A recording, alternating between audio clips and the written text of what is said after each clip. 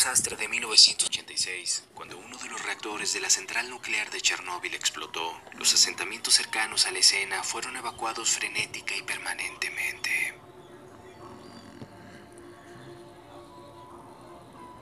Una cantidad letal de radiación había sido expulsada a la atmósfera, y a pesar de una gran operación de limpieza, el área había sido contaminada irreversiblemente y continuará haciéndolo durante miles de años. Hoy en día es un desierto radiactivo, salpicado de pueblos fantasmas y conocido simplemente como la zona de exclusión de Chernóbil. Una zona donde muchos aseguran haber sido testigos de eventos paranormales que a cualquiera causaría escalofríos. El día de hoy nos sumergiremos en un abismo inquietante, donde serán testigos de extraños hallazgos impregnados en los alrededores de Chernóbil. Prepárense, apaguen sus luces y colóquense audífonos.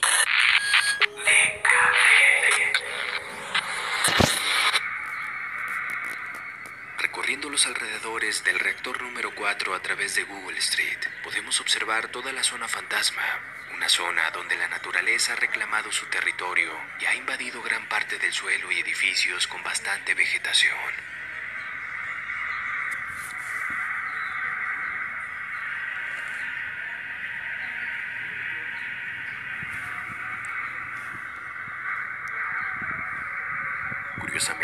Revisando cada uno de estos edificios, algo llamó mi atención.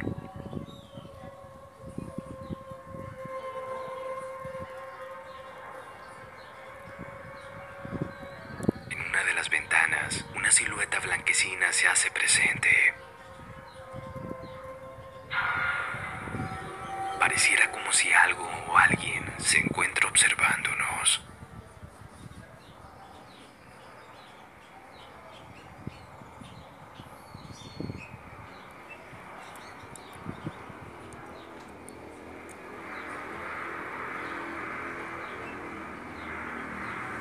A unos cuantos metros del lugar, nuevamente me encuentro con algo escalofriante. Esta vez, dos rostros como si de niños se tratasen.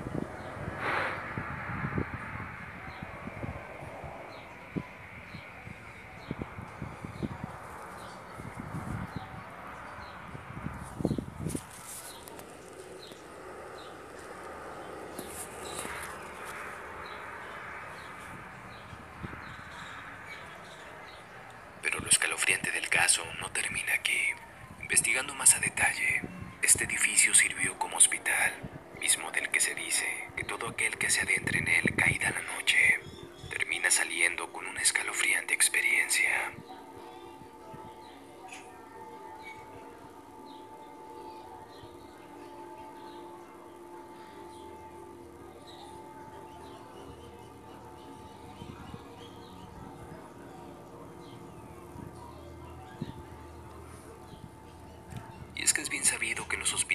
suceden a menudo extrañas historias que en muchos casos escapan a la razón.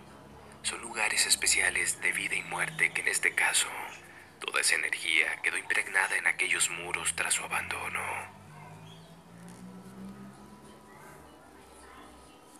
Ante aquellos testimonios donde se advierte que es mejor no entrar en este lugar, un par de amigos deciden internarse y probar qué tan ciertos eran estos rumores. Jamás imaginaron que estarían a punto de vivir una de las más escalofriantes experiencias de su vida. Acompañados con cámara en mano y de un dispositivo para medir los niveles de radiación, fueron recorriendo cada uno de los pasillos del enorme hospital. En aquel momento, nunca se percataron que realmente no estaban solos, sino hasta después, cuando al salir del lugar, reprodujeron nuevamente la grabación y se toparon con este inquietante registro. Si aún no lo has hecho, te invito a que apagues tus luces y te coloques audífonos. Muy atentos.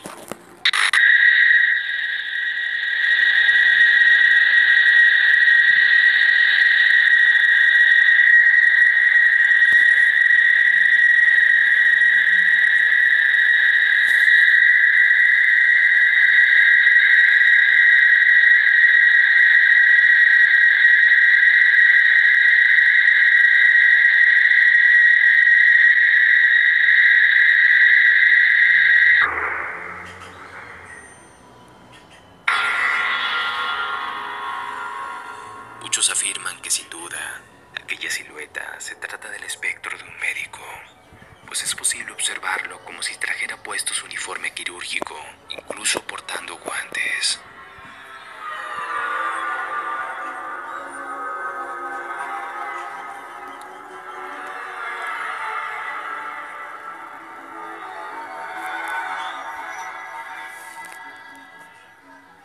¿Será acaso que estos hallazgos sean la evidencia que dicta que en Chernóbil abundan los fenómenos paranormales?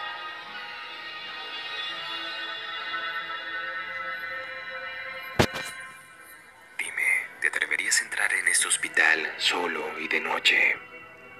Por favor, déjame tu comentario y si te gustaría que continuara hablando del lado paranormal de Chernóbil y sus alrededores, házmelo saber a través de tu like. De igual forma, y si cuentas con alguna otra evidencia inquietante, no dudes en hacérmela llegar a través de mi Facebook, Instagram o Twitter, arroba el mundo de cabeza, o si lo prefieres, al correo que aparece en pantalla, el buzón de cabeza, arroba gmail.com. Esto es El Mundo de Cabeza. Buenas noches.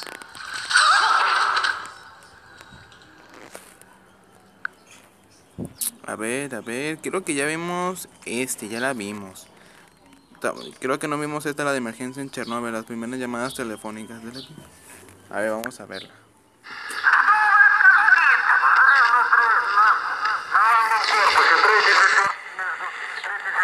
Acá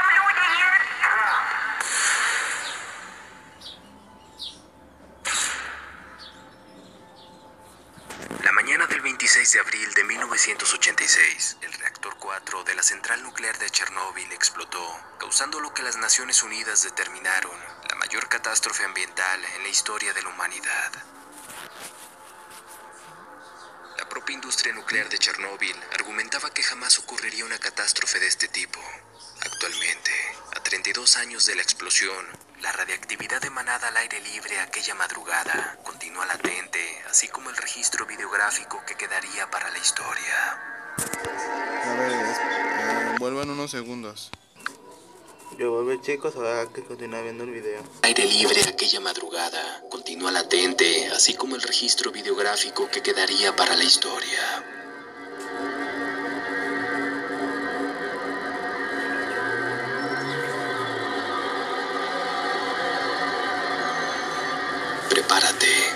Través de los siguientes minutos serás testigo de lo que se vivió en aquellos primeros minutos de la catástrofe. Escucharás las primeras llamadas telefónicas que alertaban el inicio de lo que se convertiría en la peor pesadilla de sus habitantes.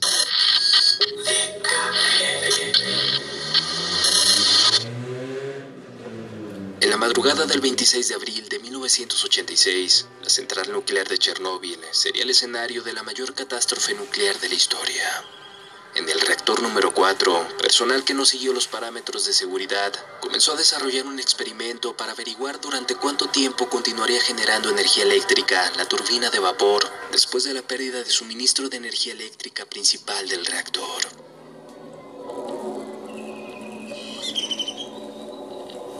Como consecuencia del mismo experimento, el reactor comenzó a sufrir subida de potencia tan extremadamente rápida, aproximadamente 10 veces de su potencia original, que los operadores no lograron detectarla a tiempo. Eran la 1.24 de la madrugada. Entre 40 y 60 segundos después de que comenzara el experimento, el sobrecalentamiento del núcleo del reactor nuclear provocó la explosión del hidrógeno acumulado en su interior, que hizo volar la tapa de 1.200 toneladas del reactor, provocando un incendio en la planta y una gigantesca emisión de productos de fisión a la atmósfera.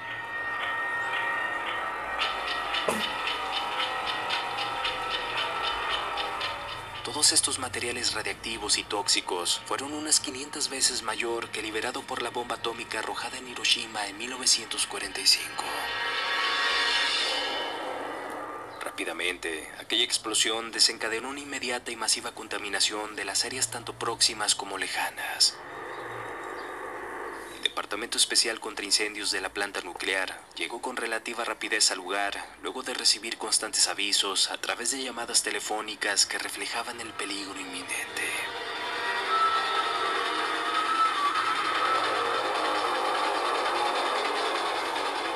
En este punto, te invito a te coloques audífonos.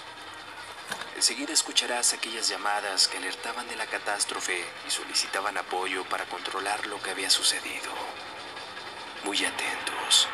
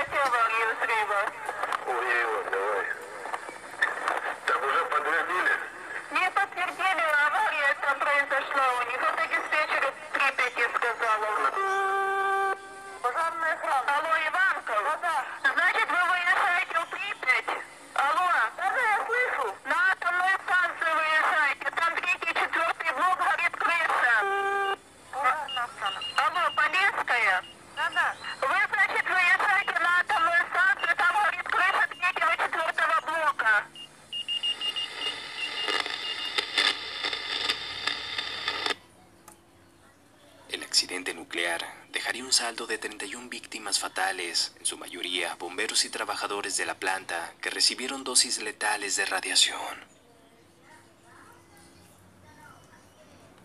El desastre también forzó al gobierno de la Unión Soviética a la evacuación repentina de 116.000 personas, provocando una alarma internacional al detectarse radiactividad en al menos 13 países de Europa Central y Oriental.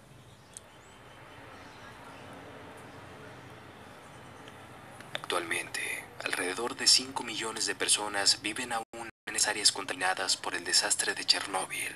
Algunos científicos temen que la radiactividad afectará a las poblaciones locales durante varias generaciones y se estima que aquella radiactividad no se extinguirá totalmente hasta pasados unos 300.000 años.